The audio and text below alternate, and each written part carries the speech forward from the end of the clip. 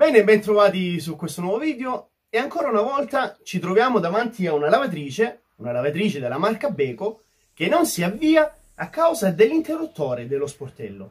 Andiamo a vedere come ripararla.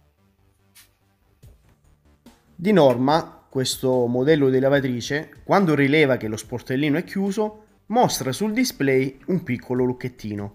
In questo caso non c'è il lucchettino, non ci sono errori e non si avvia la lavatrice. L'interruttore si trova all'interno della scocca precisamente a questo punto.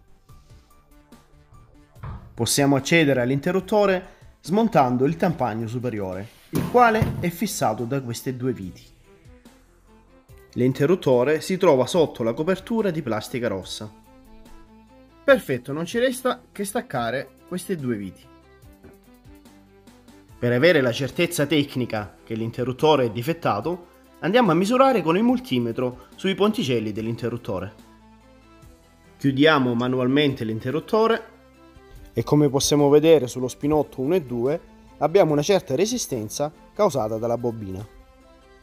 Essendo l'interruttore chiuso, sul contatto 2 e 3 dovremmo avere continuità. Perciò come vediamo il multimetro non segna continuità e questa è una dimostrazione che l'interruttore è rotto. Ecco, di norma non ci sarebbe stato alcun bisogno, ma giusto per curiosità ho smontato l'interruttore e come vediamo ci sono parti di plastica completamente bruciate. Coordinato l'interruttore dell'azienda Metalflex ZV466, perciò adesso posso continuare con la sostituzione dell'interruttore. Non resta che rimontare il resto dei componenti e il gioco è fatto.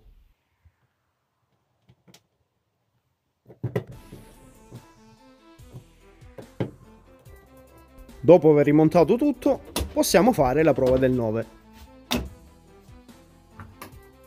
Come vediamo, con lo sportello aperto, la lavatrice non si avvia. Perciò chiudiamo lo sportello e vediamo che sul display appare il lucchettino che vi ho detto all'inizio, ciò che indica che la lavatrice ha riconosciuto che lo sportello è chiuso.